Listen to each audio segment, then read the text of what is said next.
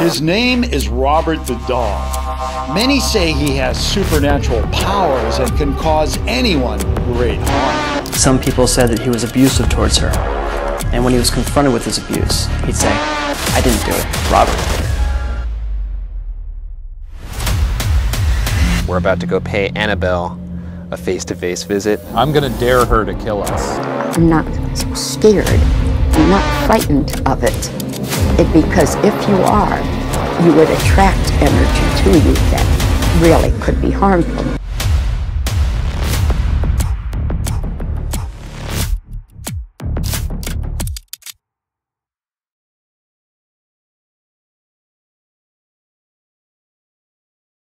Hello everyone, my name is Hailey Elizabeth and if you don't know who I am, I post videos pertaining conspiracy theories, controversial people, true crime, and all things spooky, scary skeletons. So if you're into any of that, you can subscribe and if not, you might be in luck because for the whole month of October, every Friday when I post, I'm going to be doing videos talking about ghosts and scary, spooky stuff similar to what we're doing today. It's going to be a really, really fun time. So if you want to subscribe, you can. And if not, let's just hang out. Let's do some makeup. Let's have some fun. I got a new costume on, so we're gonna do a little bit of that. I literally don't think there's anything else for me to say besides that, surprisingly. But before getting into the rest of today's video, I do want to thank Scentbird for sponsoring this video. Now, Scentbird is one of our best friends on this channel, but if you're new to my channel and you don't know what Scentbird is, Scentbird is a monthly subscription fragrance service that offers over 600 brands, ranging from high-end like Gucci, Versace, and Prada to more indie brands like The Harmonists and Confessions of a Rebel. Fragrances are unisex as well as working directly with the brand so you know what you're getting is 100% authentic. And within each bottle is a 30 day supply so not only do you know that you're getting the best for your money but you also get a chance to try out the fragrance before committing to the full bottle. This month I tried out the fragrances Dirty Vanilla by Heretic, Willow Woods by Skylar Clean Beauty, Pink Sugar by Pink Sugar, Amazing Grace by Bergamot, Bermont, Ber and Get a Room by Confessions of a Rebel. My personal favorite is the Pink Sugar by Pink Sugar because this is literally smells like pink sugar. It makes me feel like, you know, I'm like a mean girl in an early 2000s movie and if you're ever looking for something to boost your ego, this one will 100% do that for you. Although this one is my favorite, that does not mean that I don't like the rest of the fragrances. The rest of the fragrances smell just as good and I'm so, so happy I was able to try out all of these fragrances before breaking my bank first. Their product is actually eight times larger than your standard sample, which like is so incredible you are definitely getting your money's worth. Scentbird has fragrances like the Harmonists that usually cost around $295. 290 $295 for a fragrance? No, I, no, don't do that. I'm telling you right now, don't spend almost $300 for a fragrance. And it would also be worse if you spent $300 on a fragrance and then you ended up not liking that fragrance. Scentbird is actually hooking all of you guys up with a deal because they love you so very much. So before you hop on and start looking at your next Scentbird purchase, make sure to click the link down in the description and use my code Hailey for 30% off your next purchase. Super, super easy. All you do is go to the website and you take a short quiz about your preferences and Scentbird will give you a list of suggestions so you physically pick out which ones you want so no surprises. Again, if you click the link in the description and use my code Hailey, you will get 30% off your next purchase of Scentbird. And thank you so much to Scentbird for sponsoring this video. I absolutely love when you guys sponsor me. Mwah! Okay, back to the video. All right, so without further ado, let's just get into it. The very first story that we're going to start off with is Robert the Doll, just because I feel like this one is so much crazier. If you guys are familiar with the movie Chucky, uh, Chucky is basically a movie talking about a young boy that receives a doll, and at first the doll is just like a normal doll until later on it starts showing signs of like homicidal tendencies and like kills a bunch of people. Well, this Chucky movie was actually inspired by Robert the doll, the real Chucky people call him. Back in the early 1900s, there was this family called the Otto family, and they had a 10 year old son named Eugene. The Otto family was kind of rich, and they had a big like plantation that they had a bunch of servants working on, and one of the servants actually gifted Eugene this doll. When he received this doll, he decided to name him Robert. And quickly after he received the doll, weirdly enough, he started to become very, very attached to the doll, but not in a big, like, red flagish way. The parents just thought that maybe this was his favorite doll. So, for example, he would bring Robert to the dinner table and, like, fake feed Robert. He would always bring Robert to school. He would play with him all the time. He would talk to Robert as if Robert was an actual person. Again, the parents just thought like, oh, this is just what kids do, like with their favorite dolls. I remember when I was little, I had an American Girl doll named Molly and I took that girl literally everywhere. I I actually don't know what happened to her though suspicious. She probably took off to Canada and started a rock band and has like two kids.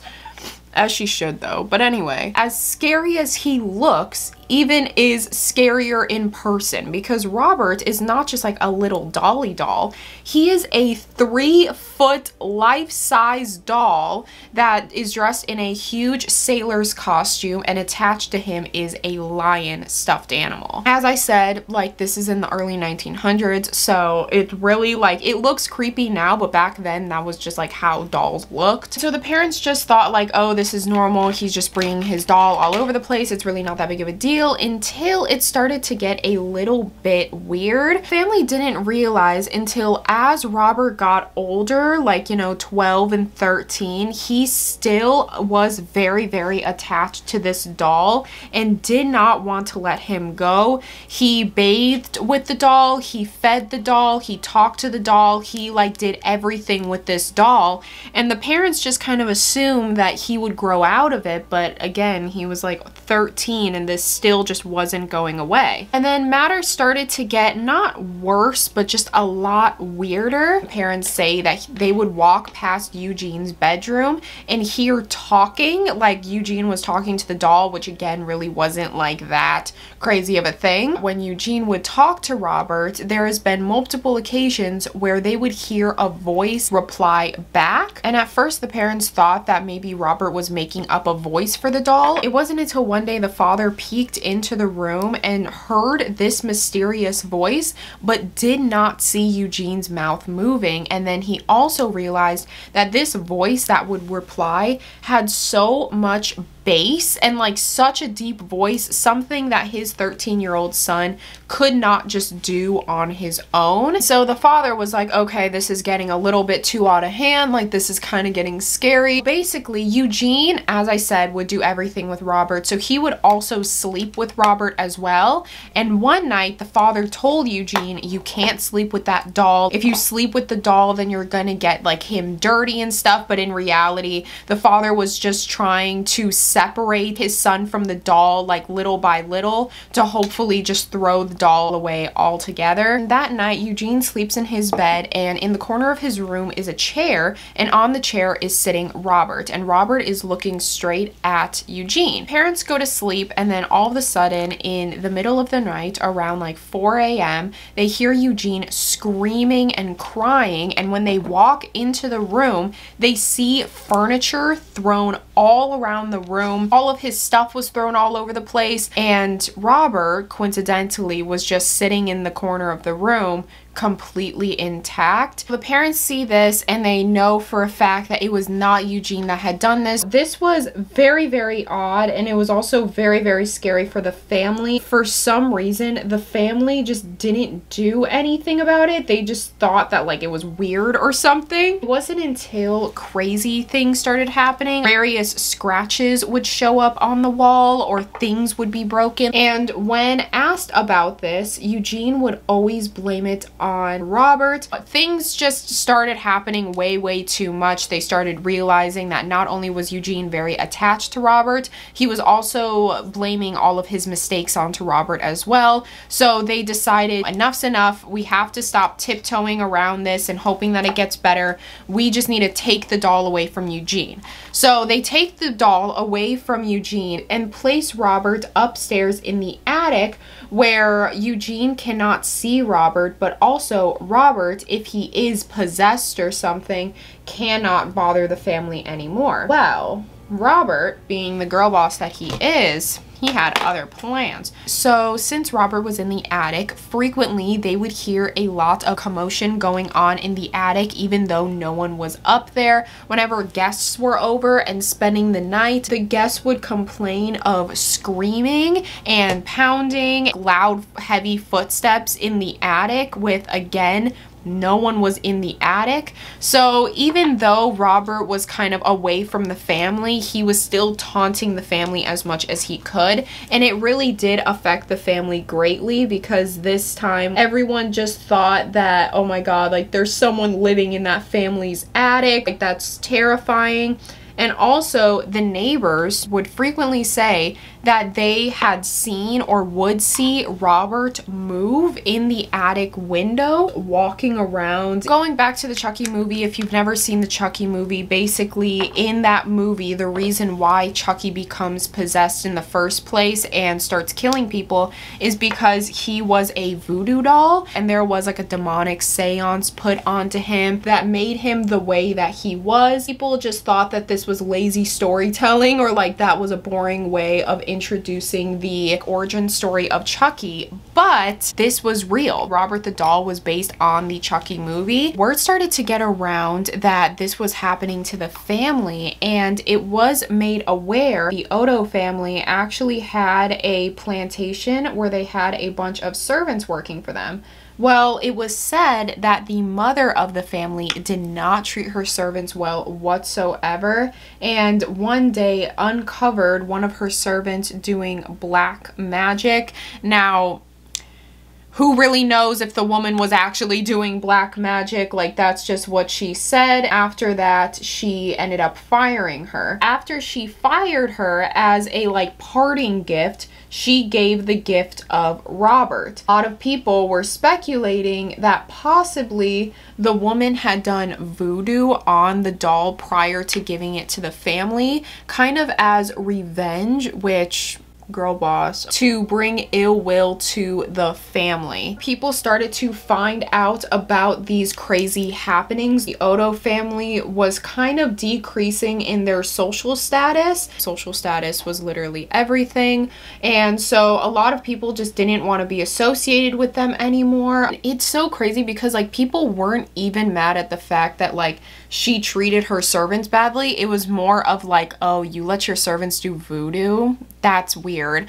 And like, anyway. The inevitable happened and the family just wasn't really doing well financially or socially. As time went on, it did eventually get better, such as Eugene. Eugene started kind of swaying himself away from Robert and started to really realize like, hey, maybe I don't need Robert as much as I used to. The family hearing this news just kind of assumed, oh yeah, well of course you don't need Robert because you're using Robert as a safety blanket. Eugene grew up and ended up getting married and getting a place of his own. The parents still stayed in that same house and not only did they stay in that same house, Robert was still locked in the attic. They had never taken Robert out of the attic after like many, many years ago when Eugene was just a 10 year old boy. In around like the late 1920s to early 1930s where the father had unfortunately passed away and as Eugene's inheritance, he inherited the household. He got the keys to the house, just got married, so he was already looking to settle down. It was just perfect timing for him. The mother did not live there. I'm not sure if the mother at this point was already dead or if she just didn't live there for some reason. I couldn't really get like a direct answer, but she did not live here. Eugene at this point was actually like a pretty successful artist, so he was able to take care of all of the servants and the plantation and all of like the monthly bills because this was a pretty big house and kind of an expensive one to keep up with. When Eugene moved into the house with his wife, he, you know, was settling down and then he goes up to the attic and that's where he discovers Robert. Eugene, for some reason, just didn't really feel any fear around Robert. He didn't really feel like Robert was bad, and he brought it downstairs and he was like, Hey, honey, look what I got. And she's like, Oh my God, what is that? And he's like, It's my doll. I, I got this when I was like a young boy at like 10 years old. And I didn't even realize he's still upstairs. Isn't that crazy? And she's like, Wow. Um, can you like put it back upstairs, maybe? He's like, no, he's not going back in the attic. And so then that is when Robert ended up being a part of the family. And immediately, as you know, you probably could tell by my amazing theatrical performance, that the wife was not really into Robert. She thought that he was very creepy looking. She didn't really have like a good feeling when around the doll. And not only was it creepy looking, it was also like three feet tall. That's also really messed up. A few months go by and Eugene slowly starts to transform into that 10 year old Eugene again. He would become very, very obsessed with the doll. He would bring the doll everywhere. He would would feed the doll. He would like bring the doll to work whenever he would have to do paintings or murals or anything like that. He would bring Robert along and just sit Robert down and have like Robert watch him. He just became so, so obsessed over the doll once again. And of course, this freaked out his wife. She felt that, you know, his connection to the doll was not like a nostalgic, oh, this is my childhood toy. It was something a lot more serious than that. I didn't even mention this this, but the wife, her name was Anne, and Anne used to like say stories of how she would be walking around the house and then all of a sudden she would hear like a giggle come from another room, like a creepy child's giggle, and then she would walk in the room and Robert would be sitting somewhere in that room. So that was another thing that was like really scary and tripped Anne out. She would like what did I just marry? And it got so bad till one day Eugene asked his wife, like, hey, can Robert sleep in the bed with us? And she's like, no. You know, like, why? Why would we do that? And so he's like, yeah, you're right. Um, can he like sleep in the room though? Because he told me that like he really wants to like sleep with us. And she's like, uh, okay, he can like sit on the chair or something, but he's not coming into the bed with us. he's he wasn't like this, but I could you know, visualize that he was probably like, oh, cool, cool, okay, Robert, you you got you got the chair, and that's actually where Robert would sleep most nights. This was not just like a one-time thing. Robert would sit down in his chair and basically just watch as the couple slept. Ever since Robert started sleeping in the bedroom, the wife actually ended up getting extremely bad night terrors about nothing like specific. They were just kind of all different. She would wake up frequently in the middle of the night like screaming. For some reason, the first thing she would look at was Robert staring at her. So it just made her even more creeped out about the doll. This doll is not staying in here. Like I'm already having night terrors and he's just kind of making it worse by being there. So because of Robert, Eugene and Anne's relationship really started to crumble and it was mostly because of Robert. He was just so, so obsessed over Robert and it was getting in the middle of everything that they did in life. As I said, he would bring Robert everywhere. So every time they wanted to like go on a date or like just go out anywhere, he would always have to bring Robert as if like that was his child. And this made Anne, you know, very, very frustrated. Eh, but then it also made Eugene very frustrated. Why don't you like Robert? Like he's a doll. Like he could come with us if you want. Like kids bring dolls everywhere all the time. And it's like, you're 32 like you're not you're not a kid. The more and more robert stayed in the family the worse and worse their relationship got. It even got so bad to the point where eugene actually started to get uncontrollable mood swings. So one second eugene would be extremely happy and then the next second he would be extremely mad and throwing things and then the next he would be like crying and apologizing. This was very very bizarre of eugene. The wife had had never seen anything like this before, not coming from her husband. Eugene started to be physically abusive to Anne and would hit her very often. So when he would be in his like rages, he would tend to get very physical with her and hit her. There really wasn't much to do because this was during like the 1950s where divorce was pretty much not an option. It's not as regular as it is now. It's more of like, oh, you just gave up on your marriage. Like divorce wasn't even on the table for them. So she basically just had to sit there for the rest of their life together. Now, eventually in 1974, Eugene had passed away and the house went up for sale. When the house did go up for sale, Robert was still inside because nobody really knew about the story of Robert, only neighbors and a few family members, so that's how the story was able to be passed on for so many years. In 1976, this new family moves into the house and this 10-year-old girl discovers Robert And the same exact thing happened to her as when it happened to Eugene. She became very, very obsessed with the doll and not in a way of like, this is just my favorite toy kind of obsessed. Again, she would bathe with it, she would feed it, she would take it everywhere she went, and it lingered on until she was older. But this family actually, when all of this behavior started to, you know, get a little crazy, this was also during like the 1970s into 80s where the whole satanic panic was going on. It was like a rise in cults and cult-like behavior. So everybody was on edge when it came to demons and anything satanic. The parents would walk past the room and hear a very deep voice reply to when the little girl would talk to Robert. Robert would throw things around like in the middle of the night she would just start screaming and then they would walk in see Robert sitting in the corner but like stuff was thrown all over the place.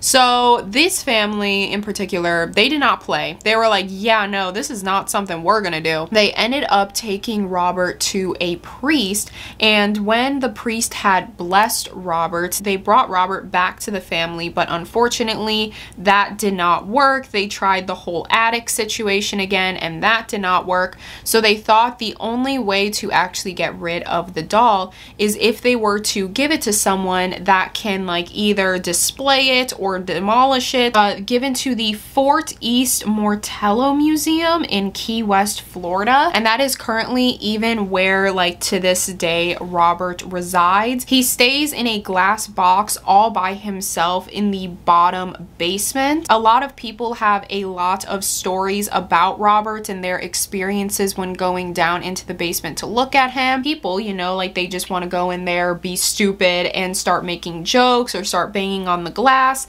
But if you go to his actual box, around the box are a bunch of letters, and those are actually letters from people that are basically begging Robert for forgiveness. There have been a lot of people that show up there and bring peace offerings to Robert, such as like food, candy, books, money, whatever. They just go over there and they bring a peace offering, they bring an apology letter. That's currently where Robert resides now. Um, he's still there to this day. Like if you want to go visit him, you can. And even to this day, this man is like now 110 years old, I think. And this man is still like playing his games because he sits, as I said, in a glass box, but there has been many, many reports of workers there as well as like people who have physically seen Robert move in his box, which is something that like not a draft or something like you're in a glass box. Like there's no such thing as a draft coming by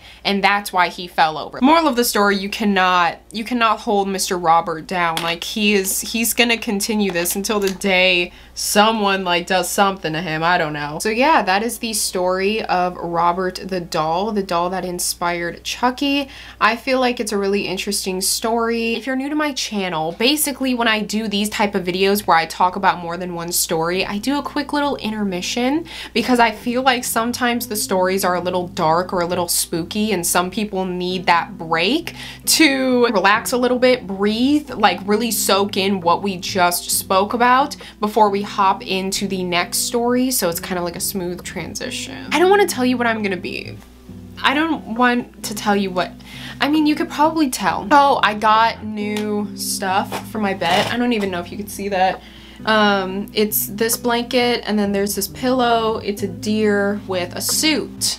And I love him with all my heart. I got rid of all my squishmallows. I got rid of all my squishmallows. I'm sorry, I only kept a few and they're laying over there.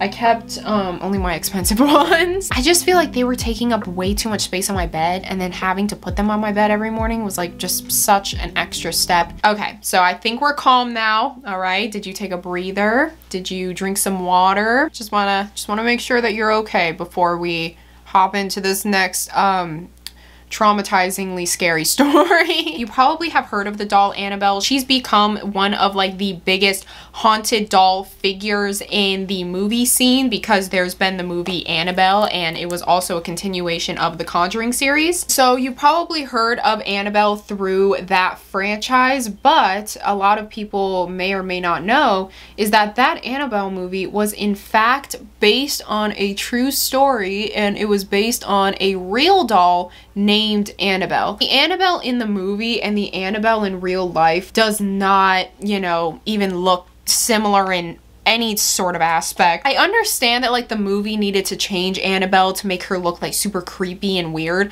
but the original Annabelle looks just as creepy. She looks just as terrifying. Like, I don't know why they had to make her look super, like, demented and crackled. Like, literally just use the other one and it's the same exact effect. Like, I'd be just as scared. So basically, the whole origin story behind Annabelle is that... Oh, hold on. Girl, let me not call Mars right now. Anyway, in 1952, there was this company called NESPR, or also known as the New England Society for Psychic Research, and this was a company made by Ed and Lorraine Warren, where basically their main focus was to go to various hauntings and basically try to bless it, exorcise it, just get rid of as much dark energy in this world as they can, and that was their main focus. This company, NESPR, is pretty well known in the movie industry. Uh, this company that like from the hauntings that they've went to, they've actually inspired many, many horror movies such as The Conjuring, The Haunting in Connecticut, and the Amityville Horror House. And so this was like a pretty big company. Moving forward, that is the company that we're talking about. I felt like it was necessary to let you in on short history of this place because it does kind of play a role later on. In 1970, there was this woman who was a 28 year old nursing student named Donna and for her 28th birthday, her mother mother had actually gifted her a Raggedy Ann doll. And a lot of people think that this was pretty odd for the mother to gift her child, but I actually read that Donna was a really big collector of vintage items, loved vintage like dolls and decorations and antiques. And Donna ended up really, really liking this to the point where she brought the doll home and she would set the doll on her bed every single night until not that short after bringing the doll into their home, they started to see some weird happenings with the doll. Donna had a roommate named Angie and Donna and Angie would quite frequently see the doll moving when they would both come home from work. They would look at the doll and she'd be on the opposite side of the bed or she would be laying down or even all together just be in a completely different room. Like for example, they could put the Raggedy Ann doll on the couch and then come home and then she'd be back on Donna's bed. And these situations could easily be pawned off as either paranoia or forgetting, oh, I thought I put her here, but I actually put her on the bed, or maybe she just fell over naturally. They didn't really think it was like demonic or anything until one day their friend Lou came over to visit, and this is the first time that Lou had actually met the doll. And immediately when he met the doll, he just told Angie and Donna straight up, like, you need to get that doll out of this house. Like, I don't know what's going on with that doll, but that doll is such bad energy. Like as soon as soon as I walked in here, I was attacked by Monica at the circulation desk. So he just said like, guys, you need to get that doll out of here. Like I don't, uh, there, there's just something going on with it. And then Angie and Donna are like, Lou, stop being dramatic. Like it's really not that big of a deal. Later on, after Lou had left, Donna and Angie would find various notes around the house written on parchment paper that said things like help me or help and it looked like it was written in children's handwriting. Whoever found it, like for example, if Angie found it, she would just think, oh, you know, Donna's pulling a joke on me, this isn't funny. And then same thing with Donna, Donna would find it and she would think Angie was doing it. And it wasn't until one day Donna had laid the Raggedy Ann doll on her bed, but then when she came home, the Raggedy Ann doll was on the couch and staring right at the door. So when Donna walked in, like the doll was staring right at her. And she looked at the doll and she noticed that there was a little bit of like dirt or something on the doll. So when she went to go get a closer look, that's when she realized it was not dirt, but instead blood. Blood on Annabelle's hands and chest and at that point, you know, she showed Angie, and her and Angie collectively decided yes, I think it's about time that we need to get a medium in here. At first, they just call a medium in to basically cleanse the area and, you know, get any of their questions answered of what's exactly going on in here. At this seance, it actually revealed um, the presence of what was living in the Raggedy Ann doll. And what it revealed was that there was this little 10-year-old girl named Annabelle that actually died on the property a few years ago and she became very attached to this doll. The medium had said that Annabelle actually felt very at home with Donna and Angie and Donna and Angie made her feel very loved and that she didn't want to leave the Raggedy Ann doll body. Now, Donna, having the big heart that she does, she thus feels bad for this little girl. She's like, oh my god, okay, well, I can't really, you know, let her go now. She's in a bad place and we make her feel so happy what actually is the harm if she just were to stay here? Donna actually invites Annabelle into attaching herself to the doll so that she could stay for as long as she wants. This was a really, really bad move. So then shortly after this seance, Donna and Angie thought that things would get better because, you know, they finally have this deep connection with Annabelle. They know where she's coming from. They know like who she is, how old she is. They kind of felt more comfortable living with Annabelle because now there was no fear of the what ifs. But but unfortunately, when the seance did end, things did not get better at all. Um, things actually got 10 times worse, such as things being thrown, broken, Annabelle in like completely different rooms. They would try to look for something like, for example, if Donna was looking for her purse, she'd look all around the living room, go to her bedroom, come back in the living room, and it would just be sitting on the couch. So things just started to like get a lot worse, which really sucked for Donna and Anna Angie because they thought that this was probably going to be like a good thing for them. With this, Donna just felt like very bad for Angie and just like everyone involved because she did kind of feel it was her fault, you know, like she's the one who brought this doll into this place and now it's harming everyone. Donna felt extremely bad. She also felt extremely responsible for all of this. So she needed a little getaway. So she contacted Lou. Remember Lou? She was was like, Lou, we need to go on a road trip. We need to go somewhere. I just need to get out of here and like go have fun because I've been so stressed with this whole doll situation and I don't really know what to do. So Lou comes over and he spends the night because they plan on like leaving early next morning.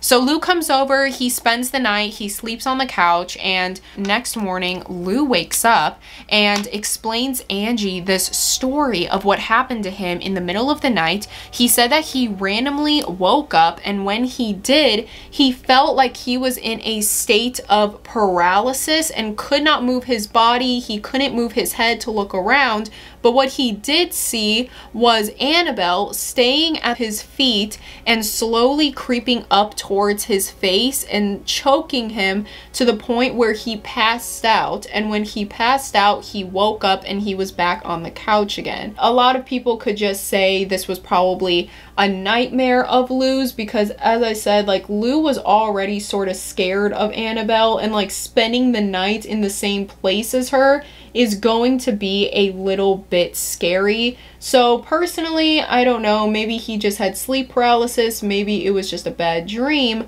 But later on that morning, when they were about to leave, when she put Annabelle on top of her bed, she shut her door to leave. And then as soon as she shut her door, her and Lou heard a bunch of like rustling sounds coming from her bedroom. Heavy footsteps rustling around, like things are just, you know, going up.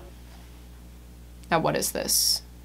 Now, what exactly is that? And they obviously started freaking out of like, oh my God, who's in the house? So once it all started to die down a little bit, Lou went up to the door and opened it. Absolutely nothing was touched. Not a single thing was moved. And the only thing that was moved was Annabelle and she went from the bed to the floor. But it was just so bizarre because they had heard all this commotion as if things were being thrown around. Stuff was like going down in there, but then they look inside and nothing, not a single thing had been touched. He sees Annabelle on the floor and obviously Lou at this point is at his breaking. He's like, that's it, like this doll needs to go. So he walks up to the doll and as he's about to pick up Annabelle, he leans over and starts groaning in pain because he feels this very sharp pain coming from his stomach.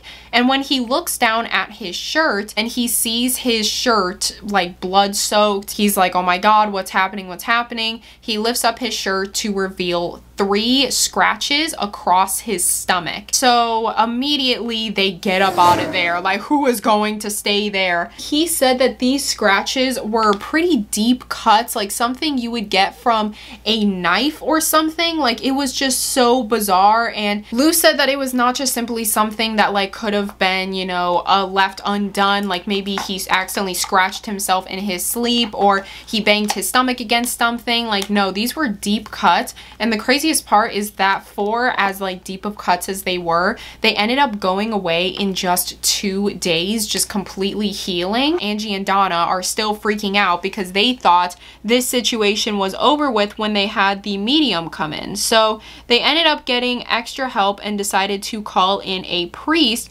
to get a proper cleansing of the house. That is when they called the company that I mentioned mentioned earlier, NESPR. They called up Ed and Lorraine Lorraine. They were like, hey guys, something's something's a boiling and up in here and I, I, don't really know what to do. Like they uh, we had a seance with this one medium and it, said that like it was a 10 year old girl but I don't think it's a 10 year old girl anymore. Like I think it's something more because it scratched my friend so Ed and Lorraine are like girl shut up. We'll be over there. And so then they do yet again another seance trying to contact whoever was in the Annabelle doll and so that is when Ed and Lorraine reveal to Donna and Angie that this was in fact not a 10 year old girl, but instead a demonic entity that was possessing the looks of a 10 year old girl because they knew that Donna, once she found out that this was just like a little girl that needed love, that she would then, you know, grant the demon access into the body.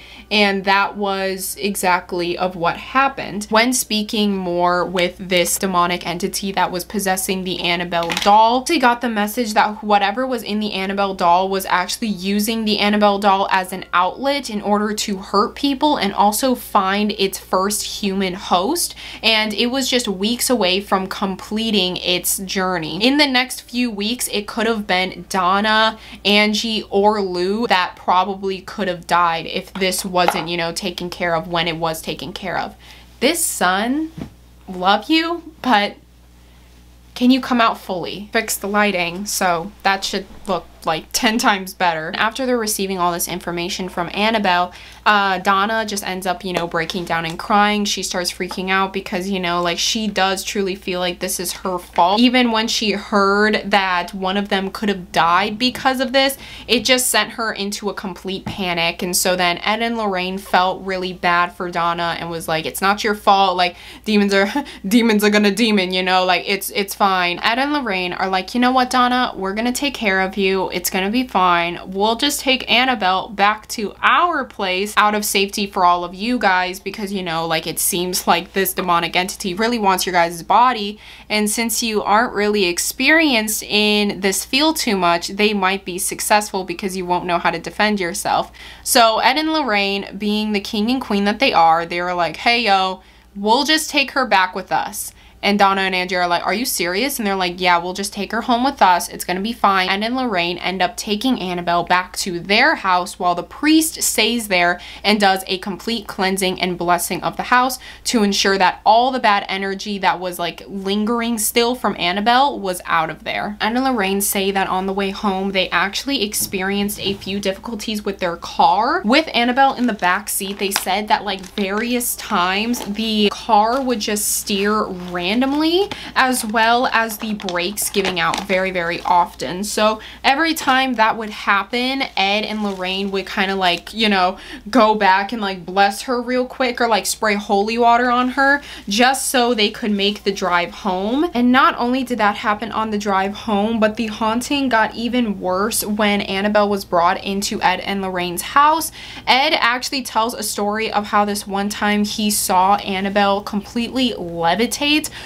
from his office chair before slamming down back on the chair again. There had been many times where they would like hear giggles from rooms that Annabelle was in and then there would be no one in there. To help this situation, they brought in their own priest to, you know, figure out what was going on with Annabelle. And that is when the priest actually picked up Annabelle and swung her by her little arms and said to her face, you're nothing but a rag doll, Annabelle. You can't hurt anyone. And slammed her back on the chair. And obviously Ed and Lorraine were like, uh, okay, well, I, I didn't, I didn't think you were gonna do all that. I thought you were gonna like, you know, I thought you were gonna like say grace or something. I didn't think you were gonna like do all that. And so they warned the priest like, hey, um, make sure to be careful on the way home because that, that, what you did was not good.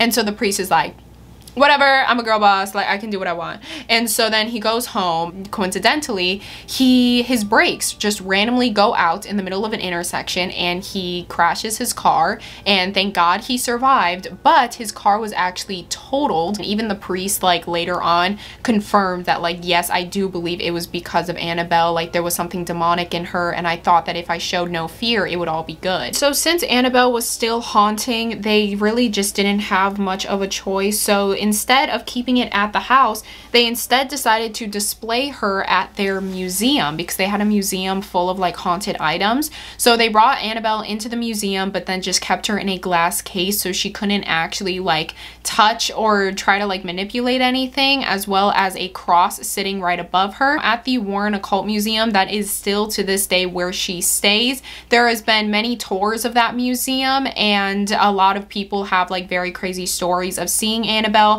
some people say that they have seen Annabelle move in that box. There was another story where there was this guy that went with his girlfriend and he started like teasing Annabelle, like banging on the glass, calling her names and calling her fake. Ed was there and he was like, you can't do that. And he's like, oh, watch me. You're, you're stupid, blah, blah, blah, blah, blah. And he's like, okay, well, you need to get out because like, that's not what we're gonna do. And he leaves with his girlfriend. They hop on his motorcycle and as they're driving on the way home, all of the sudden the guy randomly loses control of his motorcycle and crashes into a tree and dies. Um, now the girlfriend, thank God, was okay, but she did have to recover in a hospital for like an entire year. The girlfriend today says that it was due to the Annabelle doll because right before the crash they were laughing about the Annabelle doll and so she truly does feel like she lost her boyfriend to that Annabelle doll. There was actually this rumor going around in like early 2020 that she left and oh my god like the memes of it was so so funny I say around my feet Annabelle Hello? I'm out. Swear. I swear. I Stop swear. playing. They could they couldn't catch me. Ah, they couldn't catch me. They can catch me! Oh I my just- god! I just- Breathe, Anna! I just ran. They had me locked up in that box. I was sitting so quiet. I was like, huh? Just quiet, just mute. Mute. And when they this spit, I said, boom. A lot of people thought that she left or that she escaped when in reality she did not escape. Okay, so Ed and Lorraine, a while ago they had passed away and who like inherited this entire place was their son-in-law Tony Spera. And Tony Spera made a video of like Annabelle in her box and being like, guys, she's still in here. Like if she would have left, I would have known. Like I have security cameras and stuff all over this place. She actually never left. That was just a rumor, but oh my God, what is it? The funniest rumor ever. As for the actual Museum today, they have been shut down since 2019. So you can't actually go there and go to tours anymore unless, you know, you're BuzzFeed solved. The reason why they shut down was not due to like anything scary or demonic. It was more of zoning issues. So basically the Warren Museum wasn't like a huge museum. It was more just like of a small house. And because of all of this like uproar of the Annabelle doll, all these horror movies that were coming from the Warren family, they started to get a lot more traction to their museum. But since this was just like a house, it really wasn't made for like a lot of parking to the point where the neighbors had to park down the street just to get to their house. So that's why they shut down. Um, will they relocate in the future? I don't know. I don't think so because the Tony Spera, he still posts videos of there and it seems like they're not really going anywhere. So I don't know, maybe one day. That is the story of Robert the Doll and Annabelle. Um, if you can't tell who I am, I am Annabelle. You can see my hair. How do I even, like that? Oh girl, why didn't I just do that like six years ago? I really, really hope you guys enjoyed this video. And if you did, make sure to give it a big thumbs up and subscribe. And if you want to follow me on any of my socials like Instagram, that will be linked down below, as well as my P.O. box if you want to send me anything. I am Annabelle. Okay, in my defense, this wig looked a lot more red on Amazon than it does in real life, okay? I don't know. I kind of look like Hannah Montana if she um, wasn't Hannah Montana. Okay. I always thought that I would look good with this type of hair, like Dove Cameron, Billie Eilish sort of hair, but now I'm starting to realize I would not look good in this hair. I don't like it at all. I feel like I look a lot better with darker hair. I hope you guys enjoyed it. And it was kind of scary to like look up because I was looking at all these spooky stories of Annabelle and Robert, especially Robert. So I don't know why I'm whispering. There had been a lot of stories where like even if you say his name, like it's bad luck or something, which that is a risk I'm willing to take for y'all. So he sage it up so much that my room is just smoke. Like you can't even see my room anymore. That's how much I'm gonna cleanse this room when I'm done. I said in my last video that I was gonna like say a ghost story at the end of each video. Here's my ghost story. So my house is a little haunty haunted. This happened like three years ago, I would say. In the middle of the night, I'm sleeping in my bed and then all of a sudden I wake up, but then I go back to sleep. So I'm like half awake, half sleeping. And then all of a sudden I hear a big bang and I jump up and I look around my room and I can't see anything because it's dark. So I'm just thinking in my head like, okay, Hailey, there probably wasn't even a bang, you know, like when you're about to go to sleep and you're falling off a cliff and then you wake up before you hit the ground. I was kind of thinking like that, okay, it's probably nothing. I turn over, I go back to sleep. I wake up the next morning, so now there's light in my room and I look around my room and I see that my clock is off of its wall and the clock side is facing down. And so I'm like, oh, did my clock fall off the wall last night? So I get up, I go over to my clock and I lift it up. So I'm looking at the clock now and it was 3 a.m. on the dot.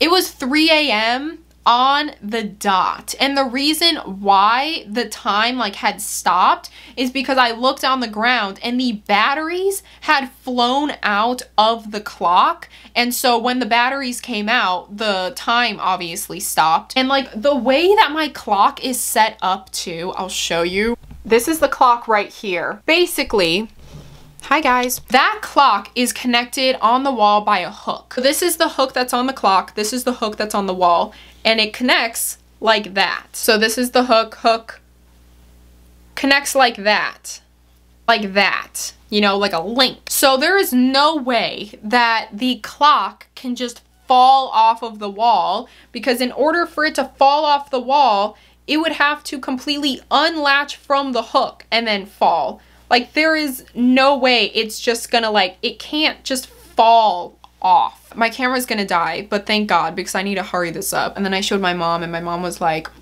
it's probably because you're on that phone too much. my mom was kind of freaked out. My sister was kind of freaked out and I was kind of freaked out. But then at the end of the night, as I said last video, I tend to joke with the ghosts in my house. So before I went to sleep that night, I would like, now y'all better not mess with my clock because I need to tell the time. Like I can't be late to school tomorrow. And then the next day, like nothing happened. So yeah, that's the that's the spooky scary ghost story again i hope you guys enjoyed and thank you to scentbird for sponsoring this video i genuinely really really love scentbird and i'm so excited when they do sponsor my videos so i bought ribbon I bought red ribbon for these braids. All these wigs on Amazon. First of all, Amazon wigs, can we not ever spend that much money on something we're only gonna wear once?